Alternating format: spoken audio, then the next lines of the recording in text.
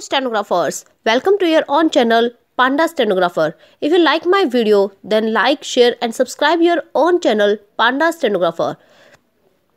Ready for dictation? Start. As we all know that we have gathered here on the way special occasion of our nation called as Republic Day of India full stop. I would like to narrate a Republic Day speech in front of you full stop. First of all, I would like to say a lot of thank to my class teacher as just because of her I have got such a wonderful opportunity in my school to come on this stage and speak something about my beloved country on its great occasion of Republic Day full stop. India is a self-governing country since 15th of August 1947 full stop. India got independence from the British rule on 15th of August in 1947 which we celebrate as Independence Day however on 26th of January since 1950 we celebrate as Republic Day full stop.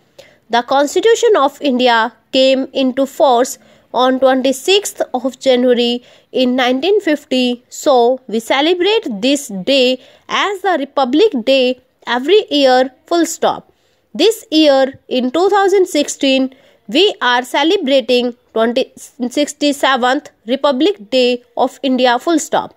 Republic means the supreme power of the people living in the country and only public has rights to elect their representatives as political leader to lead the country in right direction full stop. So india is a republic country where public elects its leaders as a president prime minister etc full stop. Our great indian freedom fighters have struggled a lot to the Purna Swaraj in India full stop.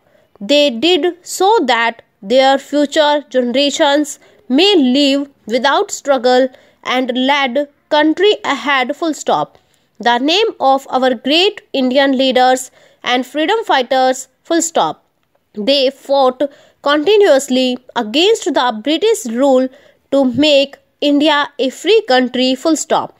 We can never forget their sacrifices towards our country full stop. We should remember them on such great occasions and salute them full stop.